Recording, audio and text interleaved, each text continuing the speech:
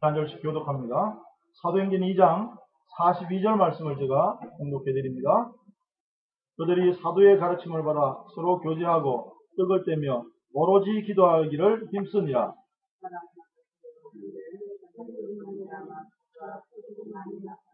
믿는 사람이 다 함께 있어 모든 물건을 서로 통용하고 날마다 마음을 같이하여 성전에 모이기를 힘쓰고 집에서 떡을 떼며 기쁨과 순전한 마음으로 음식을 먹고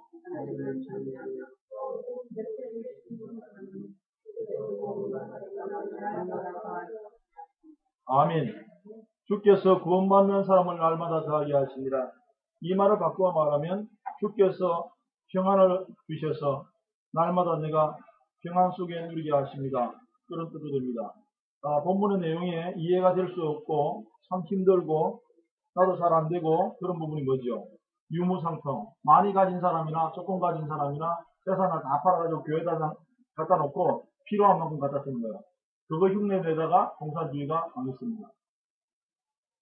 아, 그거 한번 해보려고 그러다가 어, 비슷한 그뭐 박태선이도 그거 하다가 결국은 재미 못 봤고요. 어, 문선명도 약간 그거 비슷하게 하려고 그러다가 재미없었고 어,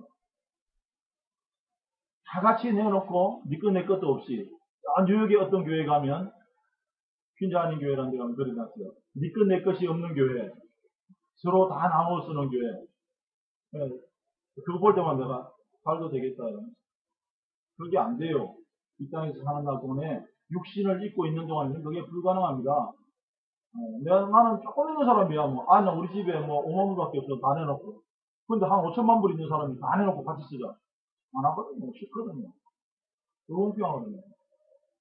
이 말이 무슨 말인지. 오늘 제목이 하나되기입니다. 원네스. 하나되게 하셨어요. 여러분이, 어, 첫째 누가 하나 됐냐면, 스스로 자기 자신도 하나가 안 돼요. 이랬다 저랬다 아침 저녁으로 그야말로 죽을 듯 하잖아요. 좋았다가 싫었다가 울었다가 웃었다가 변덕이 막 그야말로 온유를 다 죽을 듯 변하는데 아니 친구하고 어떻게 하나가 되고 부모하고 어떻게 하나가 되고 부부 사이 어떻게 하나가 됩니까? 더더군다나 전부 다 배경도 다르고 모르는 사람 학력 수준도 다르고 나이도 다른데 교회 와서 어떻게 하나가 돼요? 하나 되는 게 어떤 소리냐? 일단 뜻을 먼저 좀 알아야 되겠습니다. 사단은 절대로 하나 못 되게 합니다.